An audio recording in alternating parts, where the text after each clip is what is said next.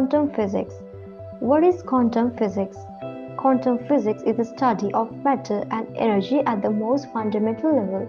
It aims to uncover the properties and behaviors of the very building blocks of nature. Put simply, it's the physics that explains how everything works. Quantum discoveries have been incorporated into our foundational understanding of materials in the science of chemistry, biology, and astronomy. While many quantum experiments examine very small objects, such as electrons and photons, quantum phenomena are all around us, acting on every scale. Origin of quantum physics the history of quantum physics is a fundamental part of the history of modern physics. German physicist Max Planck publishes his groundbreaking study of the effect of the radiation on a black-body substance, and the quantum theory of modern physics is born. He is the father of quantum physics. Through physical experiments, Planck demonstrated that energy in certain situations can exhibit characteristics of physical matter. Planck's theory held that the radiant energy is made up of particle-like components known as quanta. The theory helped to resolve previously unexplained natural phenomena, such as the behavior of heat in solids and the nature of light absorption on an atomic level. In 1918, de Planck was awarded the Nobel Prize in Physics for his work on blackbody radiation. By the way, there are four central concepts help to establish the foundations of quantum physics. 1. Wave-particle duality 2. Superposition 3. Uncertainty principle 4. Entanglement First, now let's talk about wave-particle duality. To understand the wave-particle duality concept, we have followed the double-slit experiment. This type of experiment was first performed by Thomas Young in 1802 as a demonstration of the wave behavior of visible light. This experiment with light was part of the classical physics. In 1927, Davisson and Germer demonstrated that electrons show the same behavior which was later extended to atoms and molecules. First, imagine sand poured through two vertical slits when sand passes through only one slit, a single line of sand is displayed. When sand passes through both slits, the resulting pattern is shown as the two lines of sand with the impressions of the slits. Now, let's imagine a water wave. As the water wave passes through both slits, it essentially splits into two new waves. It's spreading out from one of the slits. These two waves then interfere with each other, but at some point, where a peak meets a trough, they will cancel each other out. The result illustrates that interference is taking place between the waves and particles going through the slits. We can observe an interference pattern from that. Now, let's go into the quantum realm. Imagine firing electrons at a walls with two slits but block one of those slits off for the moment. You'll find that some of the electrons will pass through the open slits and strike the second wall, just as the sand did. The spots they arrive at form a strip roughly the same shape as the slit. Now open the second slit. You would expect two rectangular strips on the second ball as with the sand, but what you actually see is very different the spots where electrons heat build up to replicate the interference pattern from a wave. How can this be? One possibility might be that the electrons somehow interfere with each other, so they don't arrive in the same places they would if they were alone. However, the interference pattern remains even when we are firing the electrons one by one, so that they have no chance of interfering. Strangely, each individual electrons contribute one dot to an overall pattern that looks like the interference pattern of a wave. To find out, you might place a detector by the slits to see which slit an electron passes through. And that's the really weird bit. If you do that, then the pattern of the detector screen turns into the particle pattern on two strips. The interference pattern disappears. Somehow, the very act of looking makes sure that the electrons travel like light. It's as if they knew they were being spied on and decided caught in the act of performing weird quantum shenanigans. Now let's talk about superposition. Superposition is the ability of a quantum system to be in multiple states at the same time until it is measured. This thought experiment was devised by physicist Erwin Schrödinger in 1935.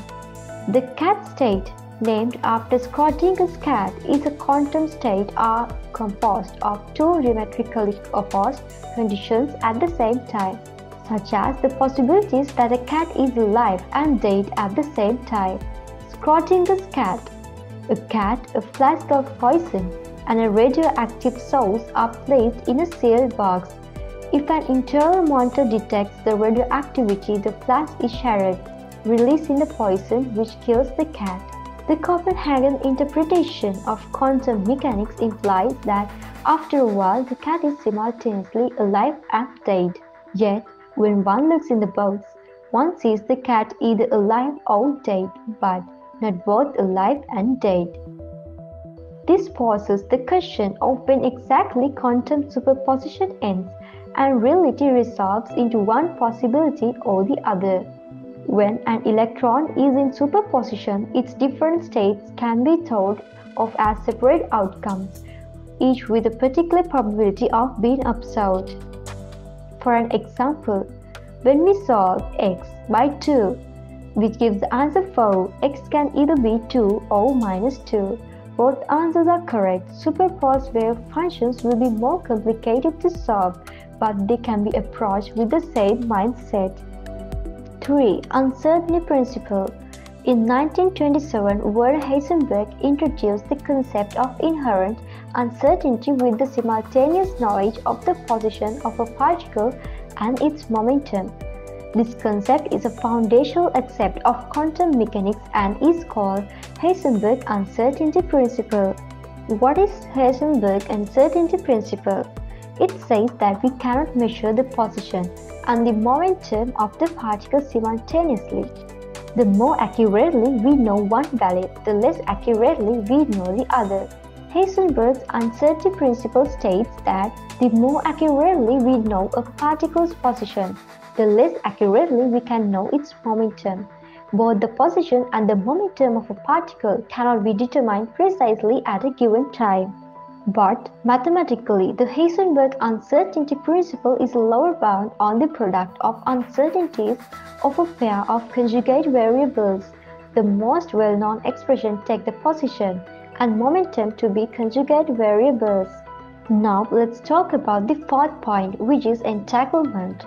Entanglement is at the heart of quantum physics and future quantum technologies.